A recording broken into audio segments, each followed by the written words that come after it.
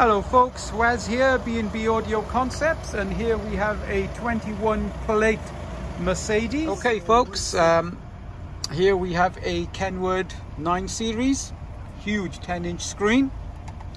Um, we have added this to this 21 plate Mercedes, and now we have DAB, Bluetooth, Apple CarPlay, everything that you think you would need. We've also added a reverse camera. So that's there as well. And then we've got the factory steering wheel buttons to work as well.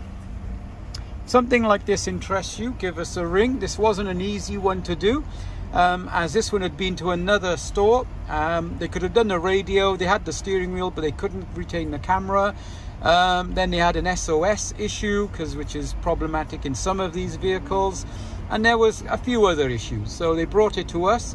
Um, we told them to go with Kenwood, and we've managed to retain the SOS steering and camera and job done. The camera on this one was a nightmare. It wasn't easy for us. It wasn't a generic FAKRA controlled unit. It was on a totally different network, which we've had to go back to school and fix. So something like this interests you, give us a ring, Waz B&B Audio concepts. See you next time.